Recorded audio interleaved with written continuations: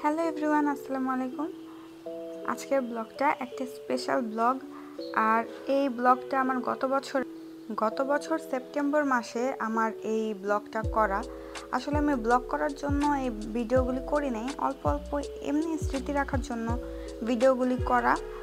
আর আজকে আমার মেয়ের বার্থডে তাই আমি মানে আমার মেয়ের ছবিগুলি একদম জন্মের সময় থেকে ভিডিও ছবিগুলি দেখতেছিলাম, তখন এই ভিডিওগুলো দেখলাম। আর ভাবলাম যে তাহলে এই ভিডিওগুলি দিয়ে একটা ব্লগ বানাই আর আপনাদের সাথে শেয়ার করি। বেবি শাওয়ার করার কোনো প্ল্যানই ছিল না, আমি অনেক বেশি অসুস্থ থাকতাম তো, তাই আমি ভাবি নাই যে বেবি শাওয়ার করতে পারব।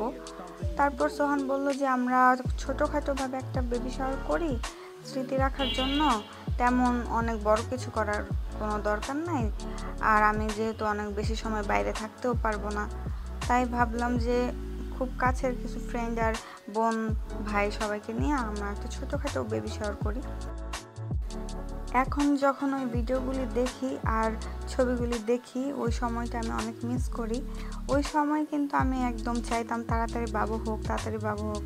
আমি আর ঘরে থাকতে পারতেছিলাম না, খুব খারাপ লাগতো। কিন্তু এখন আবার আমি ওই সময়গুলো অনেক মিস করি। ফালাক মনে পেতে থাকতে আমার অনেক ভালো লাগতো। এখনও ভালো লাগে, এখন তো অনেক দৌড়াদৌড়ি করে, হাঁপুর দেয়। ওই সময়টাও অনেক ভালো লাগতো।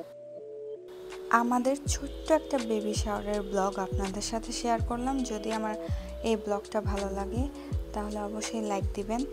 আর আমার চ্যানেলটি সাবস্ক্রাইব করবেন। আর বেবি শাওয়ারের ব্লগের পাশাপাশি আমি ফালাকের মানে জন্মের দিনের কিছু ভিডিও আপনাদের সাথে শেয়ার করলাম।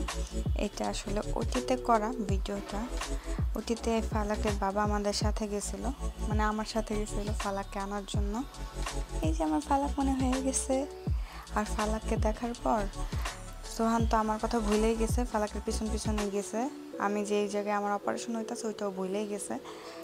আর ফালাককে ভিডিও করা নিয়ে ব্যস্ত।